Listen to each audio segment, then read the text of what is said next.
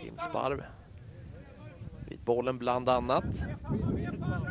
Samtal här med Paulsen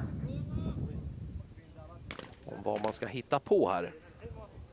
Det är en bit ifrån mål. Det lär väl knappast komma skott härifrån. Betänk också att man har lite vinden emot sig här, men eh, nu har man chansen att formera sig. Här kommer inspel och visst kommer 1-0 för Mittjylland. Det här var en variant som såg intränad ut. aik hängde inte riktigt med.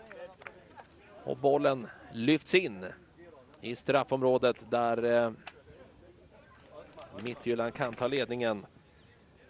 När Filip Novak, tjeckiske backen, håller sig framme och stöter in den bollen. Här hängde AIKs försvarslinje inte riktigt med. Det är inte bara Novak som kommer loss, även eh, Onaucho kom fri här mot Linnér.